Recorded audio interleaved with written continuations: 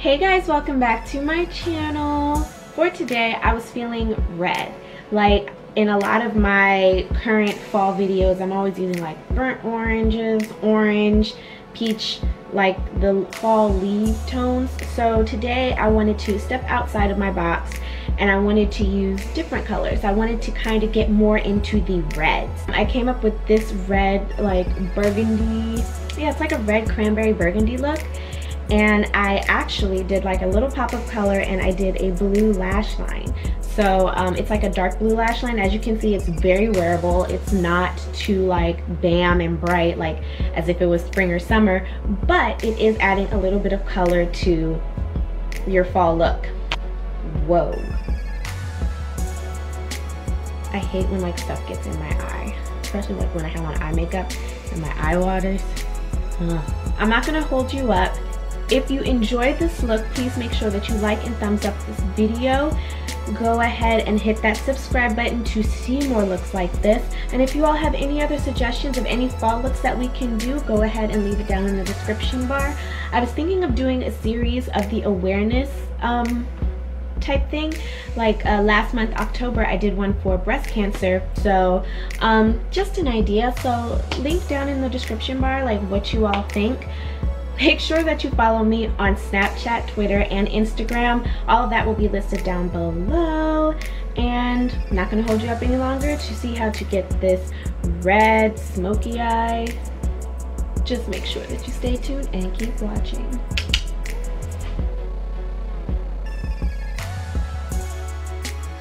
Alright guys, so I'm going to start with the face. Here I'm using the NYX Honey You Do You or Honey Dew Me Up and I'm just using that. It's like this gold flecks serum, which is really moisturizing, really great for your skin.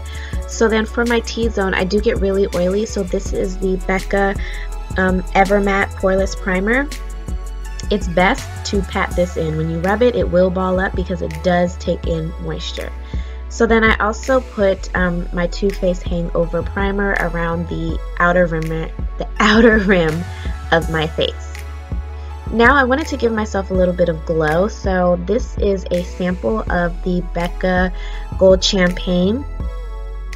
And I put that on and then I used my Lancome Teint Idole as my foundation.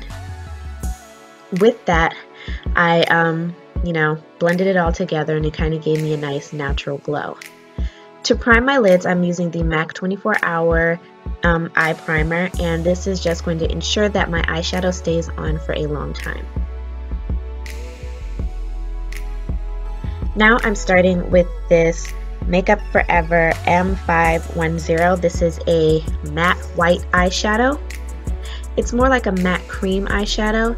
And then I'm going in with this reddish color, which is M738. And I'm just going to blend that with a fluffy crown brush all in my crease. I'm doing circular motions and I'm windshield wipering all over the crease bone. And you just really want to make sure that you build that color to your liking. You can have it as pigmented as you want it or as transparent as you want it. I mean, I want it to be a nice, easy transition, so I want it a lot. So now I'm using the Makeup Geek Mars, and this is the um, palette by Manny MUA.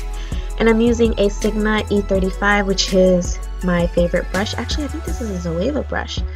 I'll have it listed on here. Anyway, so I'm going in windshield wiper motions, kind of focusing that right on the center of the lid. Not the lid, um, the crease. And then going in with this color by ColourPop. This is Porter, and I believe this comes from the Kathleen Lights palette. And it's kind of like a maroon cranberry wine type color. Very pretty. Then I'm just tight lining, kind of like just really close to the lash line using this Wet n Wild Mega Liner. And I'm not winging it out. I'm just adding my mascara and then my lashes. So for the lower lash line, I use the ColourPop liner in Bee Sting. And I'm going in with this color by Makeup Forever, which is ME216. Then I went back in with some more liner and that was a black eyeliner by ColourPop. Then I'm moving on to the rest of my face. The lashes I used are by Koko Lashes and they are in the um, style Soho. For a blush, I use um, MAC Gingerly. The bronzer, I use the Terracotta number 5. And for highlight, I'm going back in with that Becca Champagne. And I'm just going to go over that with the BH Cosmetic Carli Bybel palette. It's like that gold color, second to the darkest. And I'm going to put that all over the top of my cheekbones and the rest of my face.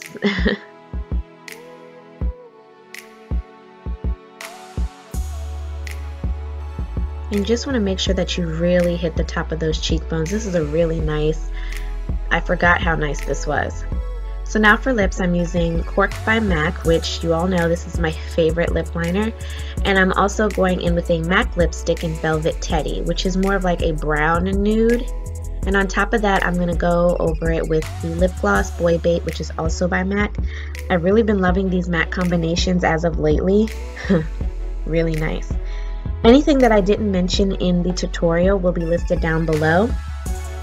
And I hope you all enjoyed. Make sure to like, share my video, and subscribe. Again, hit that subscribe button at the bottom.